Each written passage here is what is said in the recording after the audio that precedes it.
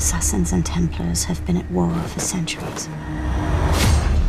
The assassins believe that above all else, mankind should have free will. The Templars are more interested in power and a way to control the human race. All the bloodlines of the assassins died out. Bar one. His name is Callum Lynch.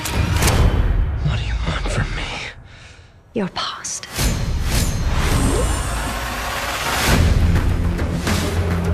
Assassins are making sure that freedom is still protected and cherished. The Templar's want us all dead. It's in your hands now. We work in the dark to serve the light. We are assassins. The concept of assassins and Templars battling through the centuries is a fantastic cinematic experience. It's original and inventive